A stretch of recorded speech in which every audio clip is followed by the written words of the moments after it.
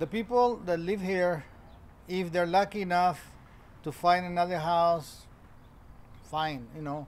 But the money that they're giving them is not enough for, for them to find a house, especially here in Arizona, where we're going through a housing crisis. Uh, you cannot find any affordable housing at all.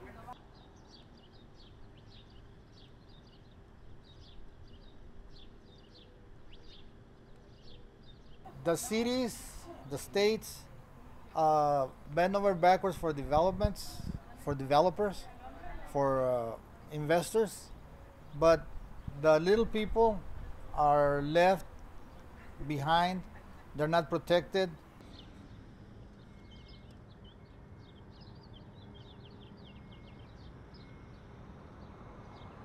And it's a big university with tentacles all over the, all over the state, all over the city. Uh, you cannot find a single nonprofit that will be willing to take on GCU or uh, or zoning attorneys that would be willing to take GCU or anybody that would be willing to take not even the politician will take on GCU because they're a powerful player here.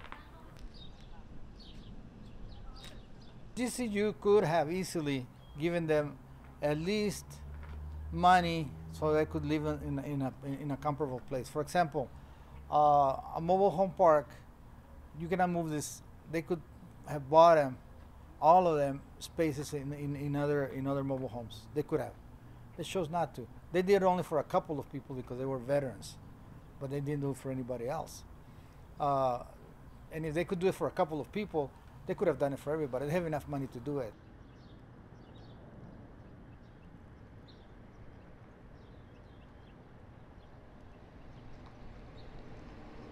It's really uh, painful to be looking for another mobile home when I already owned my mobile home.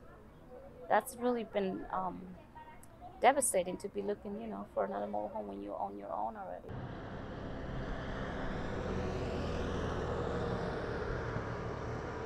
But we have been looking for apartments, which would be a drastic change for us, and we haven't found anything under like 1800. That's way above what we can afford right now.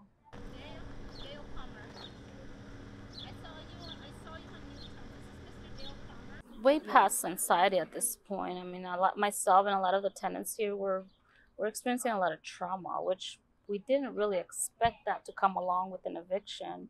Um, we've lost uh, a neighbor; she had a heart attack. Um, I've driven my other neighbor to the hospital already twice, thinking that he was having a heart attack. So this is really taking a toll on our health too, and our mental state of mind.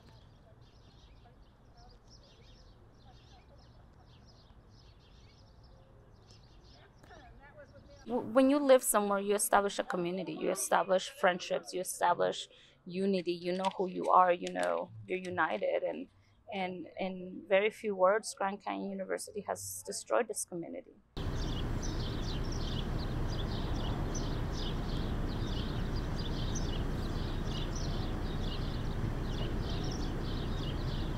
Mi nombre es Isabel Ramos. Yo tengo una niña de 11 años, es igual, igual pues a, estoy aquí pues no tengo ahorita dónde ir y pues no sé qué vaya a pasar.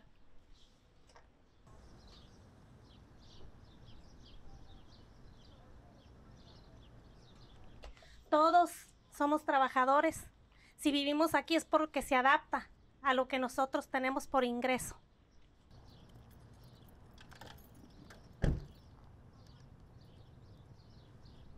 ¿Quieres mi casa? Dame una casa igual. No te estoy pidiendo más. Dame una casa igual.